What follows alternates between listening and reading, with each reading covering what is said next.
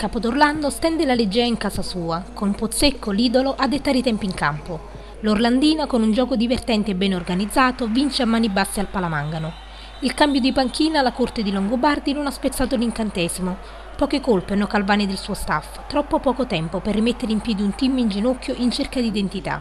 Il vero talone d'Achille è stato il poco entusiasmo dei gialloblu, che avrebbe permesso non certo la vittoria, ma sicuramente una sconfitta più dignitosa.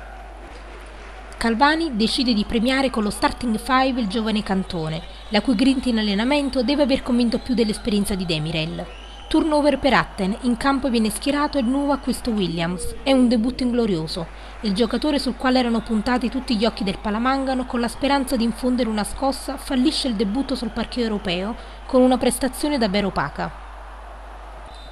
I siciliani iniziano con buon ritmo, una buona circolazione di palla, gli assist di Pozzecco e le penetrazioni di Diner mettono in crisi la molle difesa giallo-blu.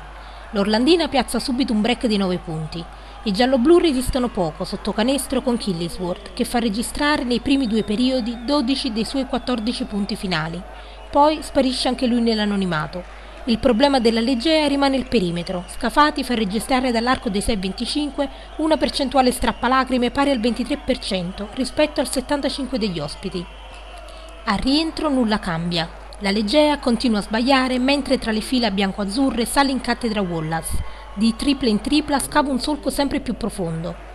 Ad inizio dell'ultimo periodo si apre uno spiraglio, un break di 10 a 0 per i padroni di casa, complice un antisportivo e la successiva espulsione di Slay, ma gli ospiti controllano agevolmente il vantaggio. In sala stampa, coach Calvani ha l'aria di chi sa che la strada è lunga ed in salita. Si comincia da subito, da questa settimana la squadra va in ritiro. Come la partita sono soddisfatto perché abbiamo fatto un primo tempo molto bene in attacco, con buona fluidità. E, e su queste cose qua non abbiamo permesso questa scarica di adrenalina che probabilmente doveva arrivare col cambio dell'americano e col cambio dell'allenatore. Siamo stati però penso in un modo diverso da come siamo noi bravi all'inizio del secondo tempo a non permettere di entrare in partita la squadra, abbiamo difeso bene, non gli abbiamo regalato niente, abbiamo creato questo gap che poi si è dilatato però. C'è veramente poco da, da commentare, una partita inqualificabile, non ci sono parole per poterla qualificare, che era una situazione difficile lo sapevamo, che di lavoro da fare ce n'era tanto lo sapevamo, quindi credo che ci siano poche parole da dover fare e stare in palestra e lavorare più di quello che, che abbiamo fatto in questa settimana.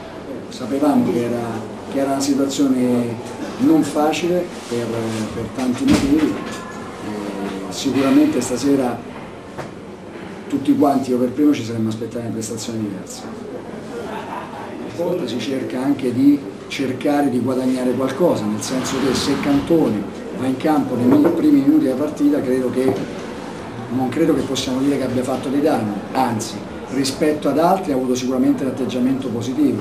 Era un modo per cercare di motivare un giocatore che sapevamo che aveva motivazioni, un ragazzo che aveva motivazioni e guadagnare un Dimitri Lovers dalla panchina. Il problema è che però ci debbono essere anche gli altri. Non può essere Cantone e poi mancano gli altri quattro gli altri quattro sono mancati, cominciando da, da Williams fino ad arrivare a Killis o al sottocanestro, per dirlo tutti quanti, dal playmaker al pivot.